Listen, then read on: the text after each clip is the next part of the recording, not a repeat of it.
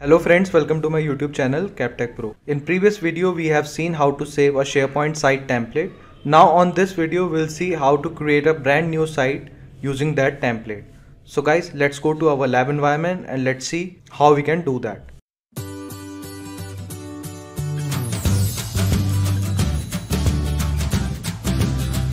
Okay friends, so now we are on Microsoft 365 Admin Center and we'll open SharePoint Admin Center now I will click on active sites.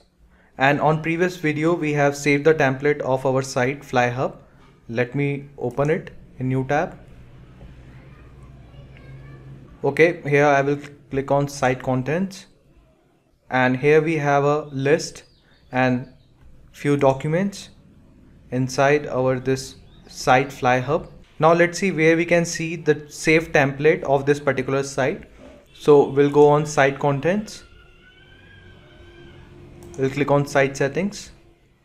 And here we are not able to find the solution gallery. So let's try to access solution gallery where we have saved the site template. So for that so for that we'll remove everything here and we'll type the url to access the solution gallery.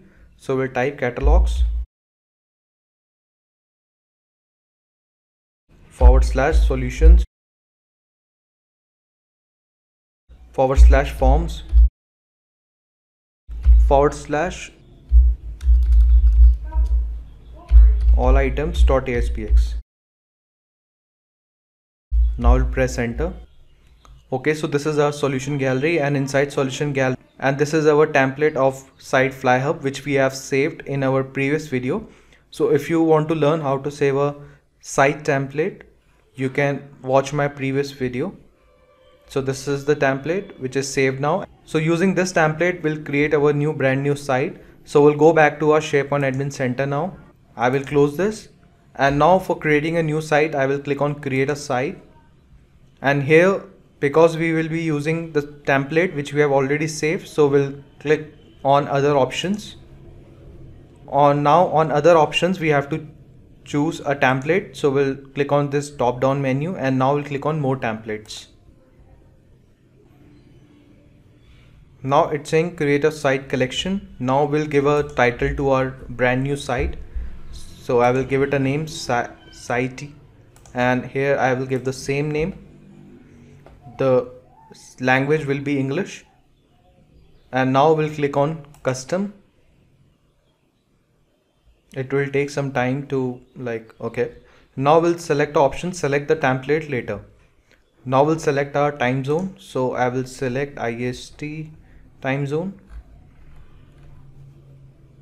Okay so here it is.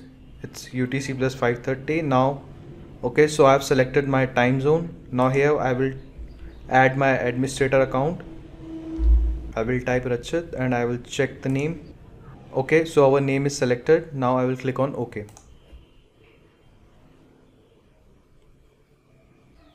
Okay now we'll click on the active pages in the new SharePoint admin center okay now our site is not listed. Let me refresh the page once. And now you can see our site is now listed. We'll open this site in a new tab. Now in template selection we'll click on custom. And you can see here we have the template which we have saved in our previous video. So we select this template on now we'll click on ok.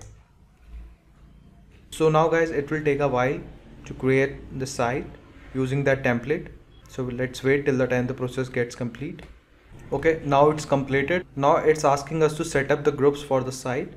So for this particular new site we can create a new group or we can use an existing group for visitors. If you'll check this box it will add automatically add a site visitors group on this site. And for the member of this site we can again use the existing group for owner of the site we'll again click on use an existing so it will add our site visitors group of the owner of the site. Now we'll click on ok. Okay so now you can see our new site is created using the template. Let's open the flyhub site as well. So you can see this is my the site which we have created using the flyhub site template and it's quite same. Now we'll click on the site contents and on flyhub we'll also click on site contents.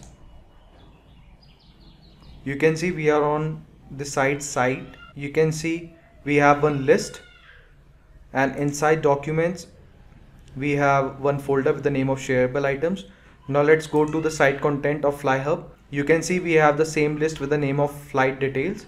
And if I'll go to documents we have the same folder with the name of shareable items so reason we are seeing all this documents and the list because we have saved this site template and we have selected an option of include contents. So that's the reason we are getting all the folders and files on the new site as well.